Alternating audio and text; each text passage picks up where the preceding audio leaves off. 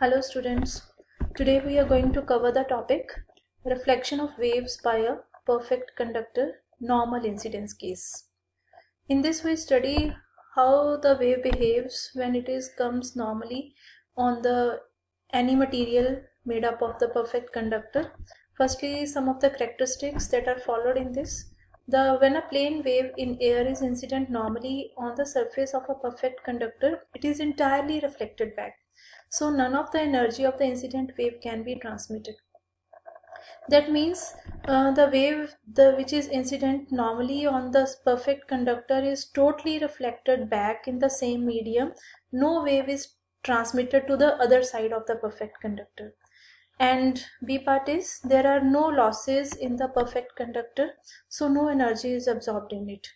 The total energy that comes that whole energy is reflected back no energy is transmitted to the another medium. The amplitude of E and H vectors in the reflected wave are the same as in the incident wave. There is no change in the amplitude but there is a phase reversal occurs because the wave comes firstly in one direction then it is reflected back in the same opposite direction 180 degree phase reversal will occur here now in this topic we are studying firstly for the electric field and then for the magnetic field case. Now starting with the case of electric field, let a plane wave traveling in the z direction incident normally on the surface of perfect conductor at z is equals to 0 plane. Uh, it is as shown in this figure. The wave is incident normally on this surface of perfect conductor at z is equals to 0 this is the direction of propagation of wave that we assumed it as the z direction. When it is incident normally it is totally reflected back in the same direction. That means there is no change in the amplitude of the wave but there occurs a phase reversal between the incident wave and the reflected wave. Okay so the expression for the electric field of the incident wave is, it is, we denoted it here with E1. E1 is equals to EI, E minus J beta Z. Here beta is the phase shift constant, Z is represented the direction of propagation that what we assumed it as Z direction and EI is the amplitude of the incident wave. Okay, it is same written now the expression for the reflected wave, it can be represented as E2. It is equals to ER E J beta Z. Let's see the expression again. Here it is minus J beta Z and here is J beta Z because there is change only in the phase shift. There is no change in the amplitude. So here it is J beta Z.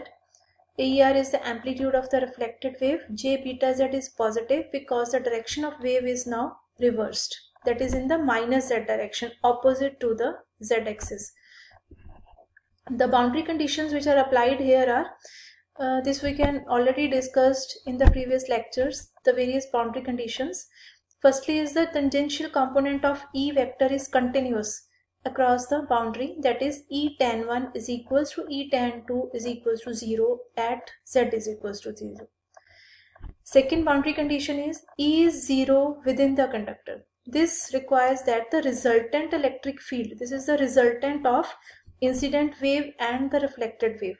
Resultant electric field must be zero at z is equals to 0. Therefore, now to calculate the resultant electric field ER, it is equals to E1 plus E2 that is the summation of incident wave plus the reflected wave that must be equal to 0 at z is equals to 0. Now ER is equals to putting the values here e1 is equals to ei e minus j beta z and e2 is equals to er e j beta z. Put down these values here and this is equals to 0 or ei is equals to ei plus er is equals to 0 that why we write it here as? Because this ei is in the one direction and er is the opposite direction. That's why ei is equals to minus er this implies that the amplitude of incident and reflected electric field strengths are equal but a phase reversal of 180 degree on reflection. Now the resultant electric field can be now written as er here we can write as z because we assume direction is the is z z direction. It is equals to ei e minus j beta z and plus er e j beta z. Now from this equation ei is equals to er putting this value here we put here er equals to minus ei taking this ei common we get this. And then resultant er comes out to be taking negative sign out. Then e j beta z minus e minus j beta z. Now multiply and divide this right hand side by 2j. When we multiply and divide it by 2j, this becomes the formula for the sine of beta z because sine beta z is equals to e j beta z minus e minus j beta z divided by 2j. So we can write it here as sine beta z now in the time varying form it can be written as ER Z T T because we can write it here now same equation in the time varying form. This is the only the real part for this equation, real part of this equation and for the real part it can be written as minus minus 2j e i sine of beta z e j omega t. This can be added for writing the same equation in the time varying form. So the real part of minus 2j ei sine of beta z ej omega t can be split into the cos omega t plus j sine omega t and similarly this is the expansion opening the bracket now taking the real part for this only and we get this solution that the resultant electric field that is equals to 2 ei sine beta z sine of omega t. Now this equation shows that the incident and the reflected waves combine to produce a standing wave. The variation of ER is shown in the figure. Standing wave, why we can call it as standing wave?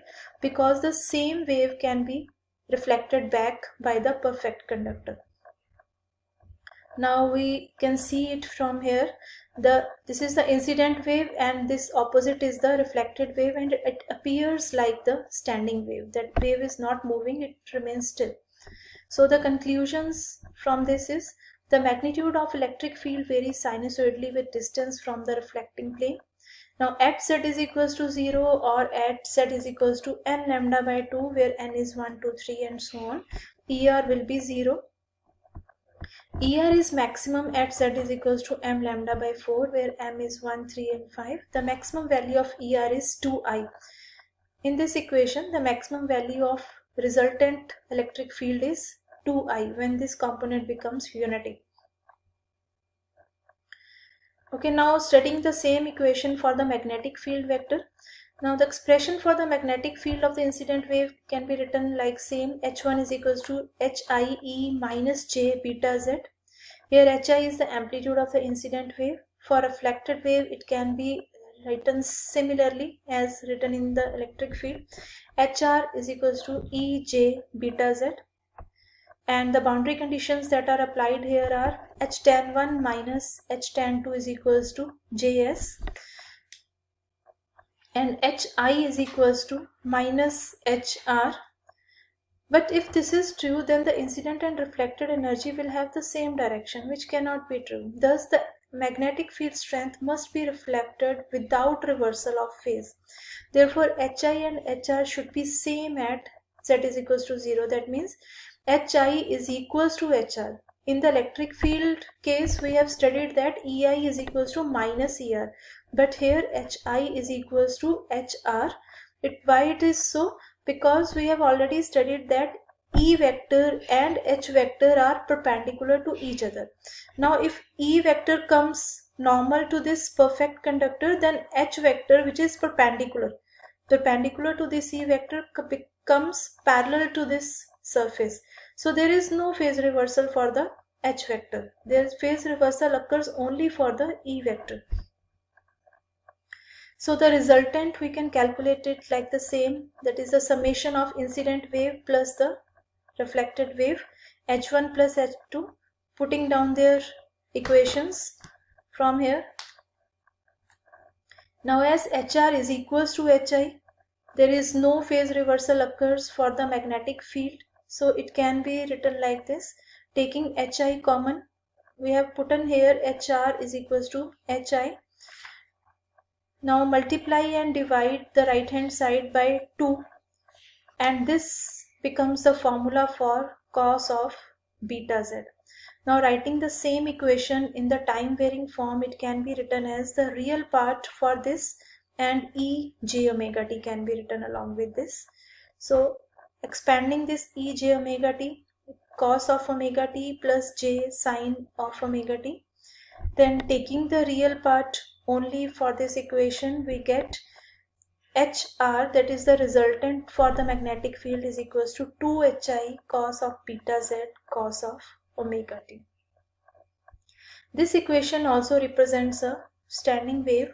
The variation of HR is shown in this figure. This is how the H vector varies on the perfect conductor.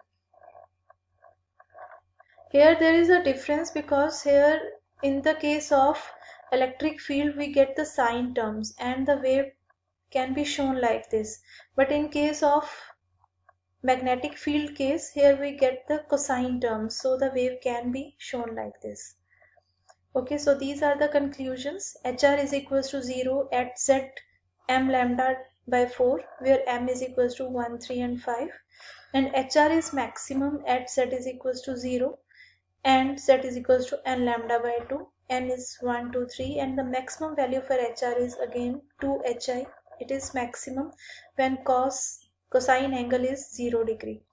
That is the maximum value for the resultant magnetic field is 2 hi so in this lecture we have studied the how the wave behaves when it is incident on the material of the perfect conductor.